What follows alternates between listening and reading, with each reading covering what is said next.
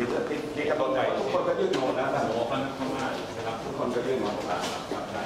ทุกคนก็ยื่นหมด นี่แหละครับนี่นะครับ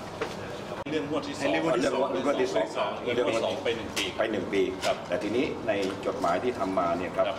เราเห็นว่าโดยสถานการณ์ที่เกิดขึ้นกับทีวีดิจิตอลขนาดเนี้ย ครับ อยู่ในภาวะลำบากมาก อันเป็นผลพวงจาก คือไม่ใช่ความผิดของพวกเรา แต่ผลพวงที่เกิดจากอะไรหลายอย่าง เช่น 3. ความไม่พร้อมของมรรคบางเรื่อง แล้วก็ 4 สถานการณ์การเมืองที่เราคาดไม่ถึงในช่วงตั้งแต่เมษาเป็นผ่านมาเนี่ยนะครับ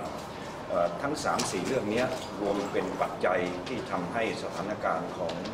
ผู้ประกอบการทีวีครับแต่ละช่องเนี่ยสุดหนัก เดี๋ยวเดี๋ยวนิดนึงนิดนึงฮะเดี๋ยวต้องขอขอเอ่อขอคุยกับเราเพิ่มมานะแล้วแล้วแล้วแต่ท่านนะฮะอ่าเดี๋ยวผมทีนี้ทีเนี้ยที่วันนี้ที่มากันน้อยเนี่ยทั้งหมดในในซองเนี้ยแต่ละช่อง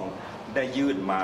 ถึงกสทชด้วยตัวเองแล้วครับเพียงแต่ว่าวันเนี้ยที่มายื่นในนามในนามของชมรมอีกทีหนึ่งเพื่อสัมภาษณ์อีกทีหนึ่งครับฉะนั้น DSO ก่อนหน้าเนี้ผมเคยพูดแล้วตอนนั้นไม่มีใคร support มากเท่าไหร่ครับเลยบอกให้ไปทำแต่ละต้องทำทันที นะครับแต่ตอนนั้นผมก็พูดแล้วว่าคุณจะเอาเงินจากกระทรวงการทำเลยนะครับเข้าใจทุกอย่างและขอบคุณที่ที่ผ่านมาคณะกรรมการกสทช โดยเฉพาะในส่วนของวิทยุโทรทัศน์เนี่ยก็พยายามจะจะช่วยเหลือพวกเราครับครับครับเพื่อให้มันมันเดินหน้าไปได้ ครับครับครับครับก็เข้าใจครับเข้าใจว่าทุกอย่างลำบากครับครับครับขอบพระคุณท่าน